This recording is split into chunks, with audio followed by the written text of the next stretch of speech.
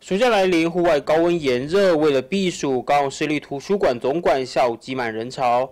高雄市立图书馆也表示，今年暑假期间，平均一天到访人次，相较于平常日多了五百到一千五百人。跟朋友来看书，奇幻、科幻之类的，比较比较常去买书，很少来图书馆借书看。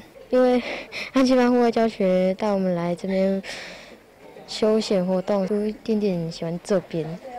因为这里比较安静。暑假期间是我们图书馆的旺季，那在平日呢就会比非暑呃暑假的期间多大概五百到一千五百人次左右。七八月的期间，因为呃很多学子他们都会从校园来到图书馆，所以在这段期间其实是我们强打暑期活动的一个时间点。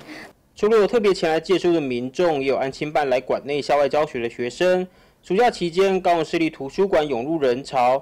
除了阅览书籍，图书馆也表示，这段期间也将陆续举办一系列阅读活动，希望借由暑假人潮，提升民众阅读风气。我们在暑假期间有推出那个青春斗争学堂，然后主要是青年学子，也有办理很多的可以让呃小朋友啊、青少年或者是成人得到很多知识性活动的一个机会，这样子。和过去一般图书馆不同，高雄市图书馆透过创作及艺术，吸引大小朋友走入图书世界。